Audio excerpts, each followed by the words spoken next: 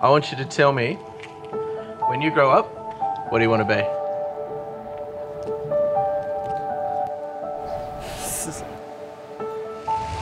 I'll be.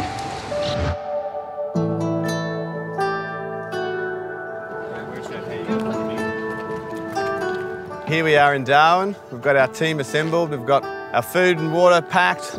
We're going to put 2,000 Ks under the wheels of these shiny SUVs. And I don't think they'll be looking so shiny by the end of it.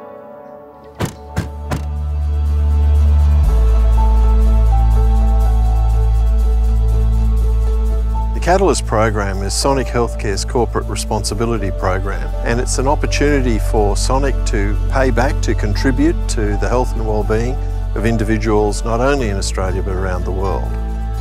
This week we're doing a series of medicals for the Clontarf Group, working our way down from Jabiru to Katherine and then on to Tennant Creek. About 20 boys coming over from Arnhem Land. We've got the boys coming across the East Alligator River. They've just got to wait for the tide to be right so they can cross. The water's not too deep where the crocs are waiting. We've got our team here ready to go. We've got our nurses, we've got our pathology collectors, we've got a couple of doctors, and we're going to do their annual health assessments. Ben. Yeah. You're the right. Nice to meet you, mate. How's your shoulder after you broke your collarbone? Are you okay to shoot now that you broke your shoulder? Ready. No, it's me. Ready. It's me. so that's a good idea.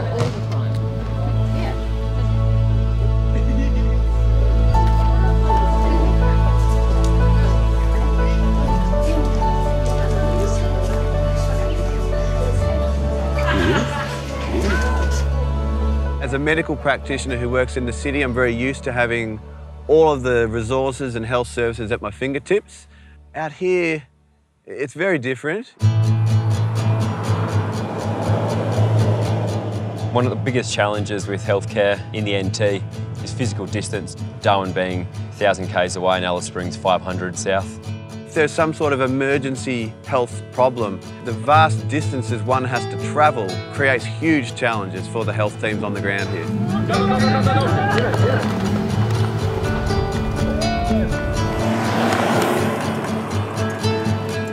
The health checks are really important for our fellas. We don't have access to specialists all the time or even some normal health checks. A few issues have popped up. One of them today might be diabetic, I, I think. Um, a bit of a murmur in the heart, uh, could likely be rheumatic heart fever. And the third one was hypertension or, or, or high blood pressure. This is the root of why we are here. The earlier you can intervene and the more action you can take, and the earlier you can take that action, the better the outcomes are. Good health means opportunities for education, for work and employment, and for building a strong life into the future for themselves. Well, it actually felt nice. No, that felt nice. The more we can look after their health, the more that they can concentrate on getting an education and just living a great life. So the third one, have you found it hard to go to sleep at night? You know, lots of people find it hard to sleep at night.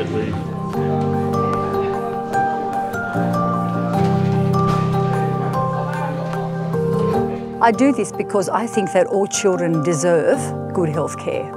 All children deserve to grow up in an environment where they're protected and they're taken care of. Go on, anything you like. What's your favourite thing in the world?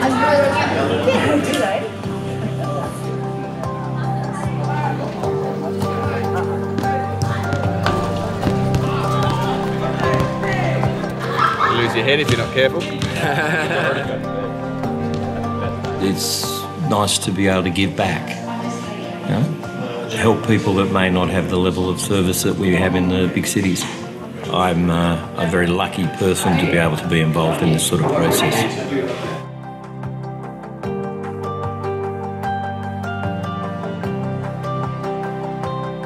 At the end of the health check, the boys often thank us for coming out and for doing the health assessments, but I just want to thank the boys for coming and meeting us and sharing with us. They're the reason why we come out. They're the guys that give us the passion. That's what we're here for. When I grow up, I want to be a football player. When I grow up, I'm going to join the Premier League. I'll be an anime producer. When I grow up, I want to be a carpenter. When I grow up, I want to be a mechanic. I want to be a policeman.